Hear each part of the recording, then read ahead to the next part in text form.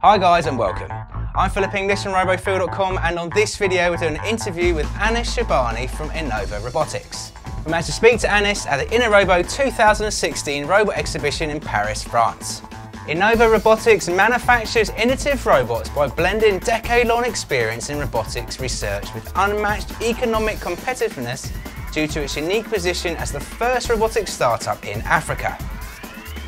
Right, hi guys, uh, Philip English here. So uh, 2016 uh, InnoRobo, and uh, we've got another stand for you. So uh, we're going to give you an intro into this one. Um, if you could, um, like, introduce yourself and then give me an, like an overview of the company.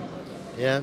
So Anis uh, Sahbani, I was associate professor at University Pierre Marie Curie until 2014, and I come back to Tunisia to uh, build uh, Enova Robotics startup which is the first company in Africa and MENA region that uh, build, design and builds its own brand robot. Right. So you've come from the education side of things, and then you've developed these these, these robots for more of the commercial world. Is that, is that right?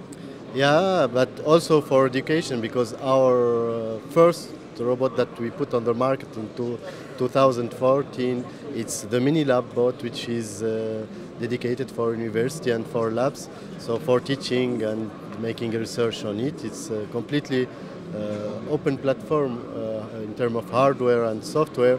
So we can, it's a kind of plug and play platform. We can put many sensors and uh, we have uh, human uh, use uh, useful human machine interfaces, uh, which is easy, in fact, to learn robotics uh, and help people and students mainly to learn robotics.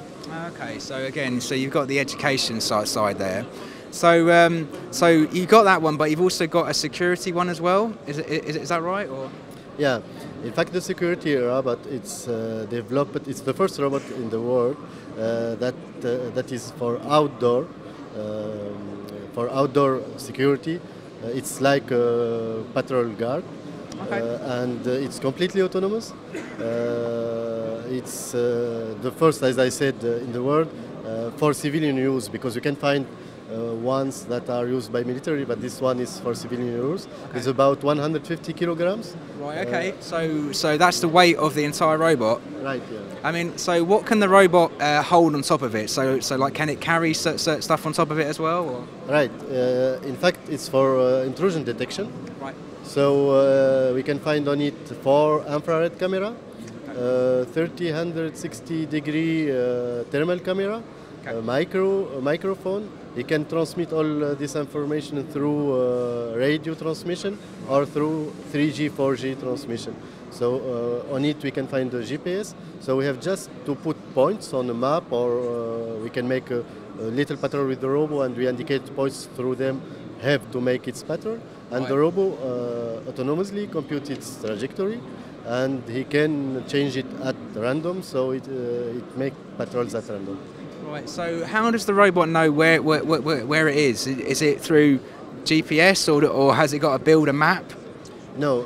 In fact, uh, the robot uh, got GPS information right. in order to uh, compute trajectory, and right. it's equipped also with uh, two lasers, one in the front and the other one uh, in the behind of the robot, and he can avoid obstacles uh, and change the, its way autonomously also. Right. And he has an autonomy of eight hours eight, eight, eight hours. Right. So if it, if someone walks in front of it, then it, it will see someone there and and it would divert. First, he sends alerts because he, it's for uh, intrusion detection, scary, and yeah. uh, he cannot go uh, through the person. He avoid the person, and uh, in some uh, situation can track the person also. Right. Okay. No, I mean it sounds like you've got a whole host of di- di- different robots, like one for like the education and one for security. So yeah, it'd be quite interesting to keep an eye on you guys and see sort of the next steps. Um, what what sort of cost is the security one? The security is less than fifty thousand of euro. Okay, fifty thousand euros. Yeah. Okay. And then uh, have you have you had any like de- de- de- deployments uh, in, we in Europe? already or? deployed uh, some of them here in France, uh, in the region Rhône. Okay. And we have a contract with a big company uh, specialized in security right. uh, to distribute them in France. They distribute in France, right? Okay, right, brilliant. Right, we'll definitely keep an eye out for you guys. Brilliant. Like, thank you very much for your time. Welcome, thank you very much. And please come to Tunisia to see us. okay. Yeah, yeah, yeah, yeah. Brilliant, thanks guys. I hope you enjoyed the interview and I want to say a big thank you to Anis from Enova Robotics for his time and the interview.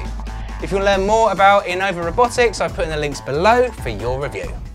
Now if you like this interview and want to see even more robot news, reviews and tutorials, then please hit the subscribe button to get up to date with the latest videos that come out.